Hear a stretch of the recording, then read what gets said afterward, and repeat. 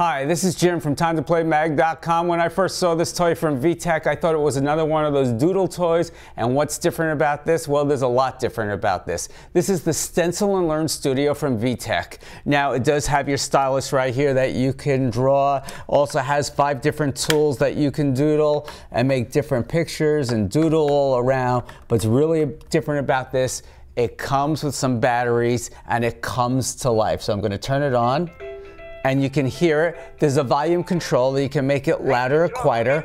I'm going to erase, so so it's going to tell me to use my pen and have fun. So I can just draw, or I can choose to use one of the stencils. And it has a stencil of every letter of the alphabet. And what you do is, so right here I have balloon. Now I'm going to take the balloon one and put it right in. There. It says B for balloon. Now, once capital I start to, B. it's telling me I'm drawing the capital letter. Capital letter B. Now I'm going to go to the bottom. letter B. So it teaches small letters, large letters, or if I want to draw the balloon. balloon. That's right. Here we go, doing the balloon. balloon. Now I'm going to take this out and you can see I started to draw the balloon, the big B, little b. So it actually reads all the stencils. A lot of fun for kid. But there's also music, so you press the music button. Insert the instrument sheet. So it's telling me to insert the instrument. So here I'm going to insert this and let's play the xylophone. Not right. I put it in backwards.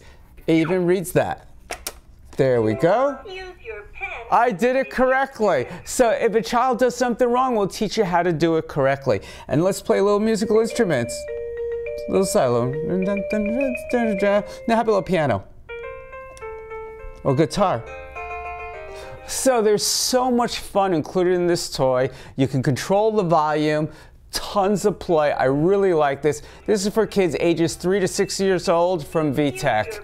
Now, if you're looking for other fun toys for your family, you can find the best reviews at timetoplaymag.com. What else do you want to play?